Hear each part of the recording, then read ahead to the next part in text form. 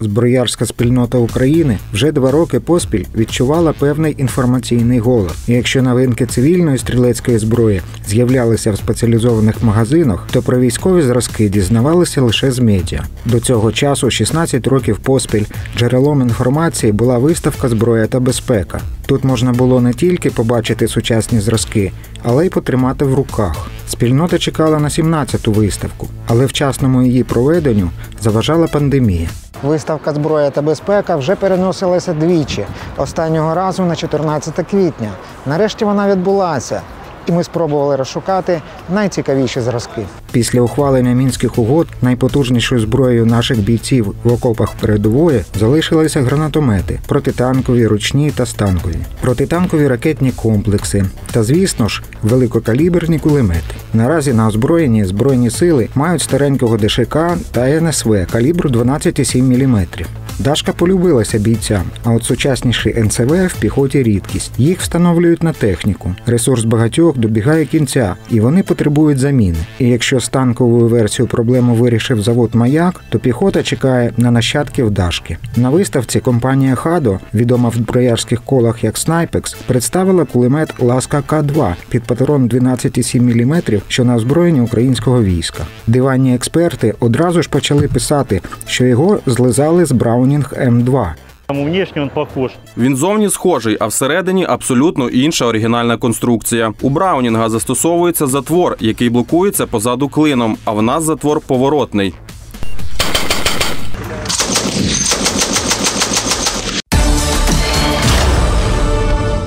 Червні стало відомо, що завод Артем та канадські компанії будуватимуть в Україні патронний завод, а артилерійські боєприпаси в Україні вже виробляються. На виставці компанія Рубін представила снаряди великих калібрів для систем ПСТА, Гіацинт та Акація. Нами розроблений також снаряд е, покращеними характеристиками для артилерійської системи «Гіацинт» калібром 152 мм, а також розроблений снаряд калібром 155 мм, який перспективним ми вбачаємо для використання в складі артсистеми Богдана.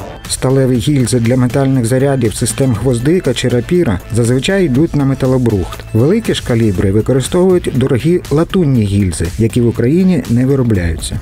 Ми знаємо, що Збройні сили дуже е, потребують е, зарядів для е, комплектного пострілу для артилерійських систем «Гіацинт». Тому ми е, відпрацювали технологію відновлення гільз, провели випробування, провели випробування елементів заряду і взагалі готові для роботи по заряду для пострілу. Тобто у нас виходить комплектний постріл, снаряд і заряд. Снаряд е, в складі з певною вибуховою речовиною вже перебуває на експлуатації в Збройних силах України. Зараз ми вдосконалюємо вибухову речовину.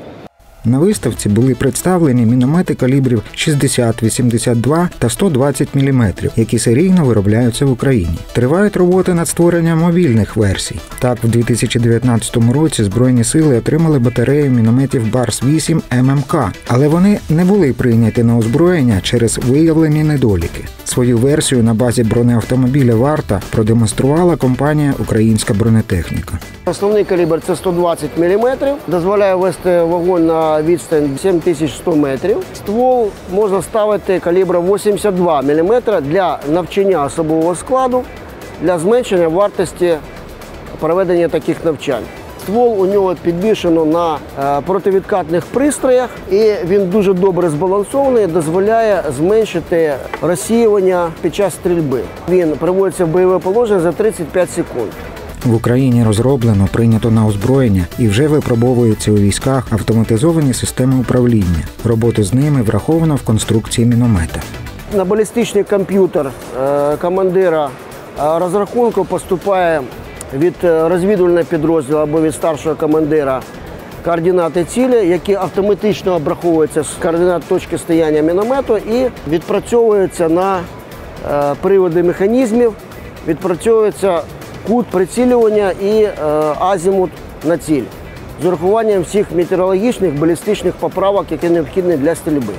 В Україні стоять на озброєнні самохідні протитанкові комплекси Штурм С. Вони мають автомат заряджання на 11 пострілів над звуковими ракетами на дальність 5 кілометрів. В 2014 році виявилося, майже всі вони несправні. Почали відновлювати ті, що їздили, щоб вони могли стріляти на максимальну дальність. Але тут чекав сюрприз. Виникали проблеми при стрільбі на дальній відстані, адже оптика прицілу доволі слабка, а джойстик чутливий. Бар'єр С керує ракетою по лазерному променю, як в ручному, так і в автоматичному режимі. Бар'єр С вироблено на заводі Артем. На ньому встановлено комплекс керованого озброєння 524Р, аналогічний тому, що на вертольоті Мі 8 МСБВ. Він стабілізований, здатен працювати як вдень, так і вночі. Має змінне поле зору. Максимальна дальність стрільби до 6 кілометрів.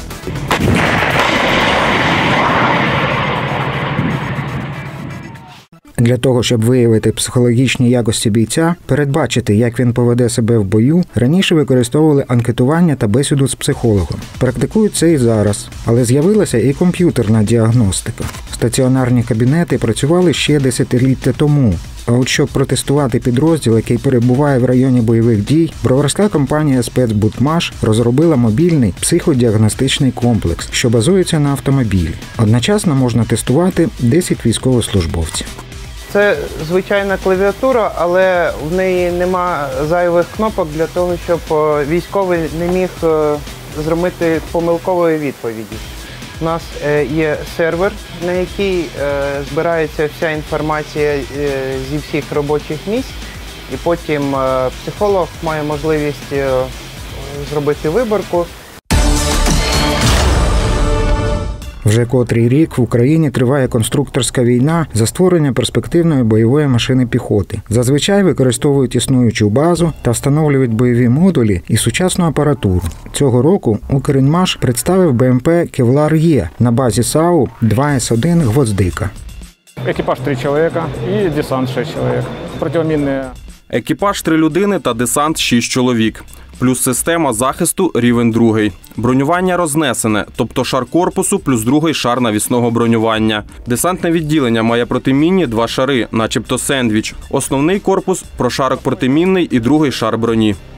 Паралельно з розвитком та широким застосуванням БПЛА тривають і розробки наземних засобів для виявлення техніки та живої сили противника. Сучасні технології також дозволяють модернізувати існуючі засоби. Таким шляхом пішла компанія Armoron Solution, розробивши станцію радіоелектронної розвідки Тінь, яку вже юзають наші військові.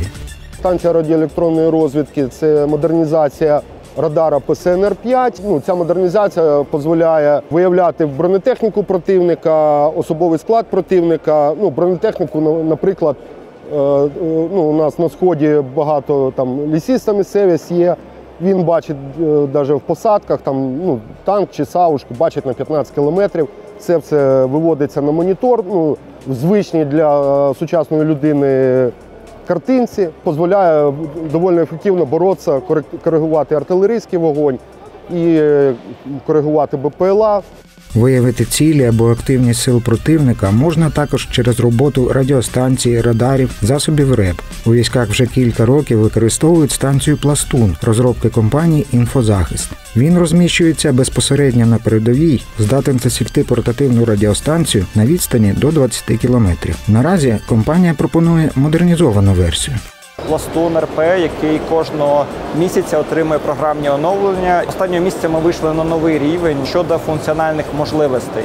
Наразі я не можу розголошувати деталі і таємниці, але він ефективно дозволяє виконувати ті задачі, які е, аналоги, наприклад, компанія Роден Шварц або інші компанії Thales е, забезпечити не можуть.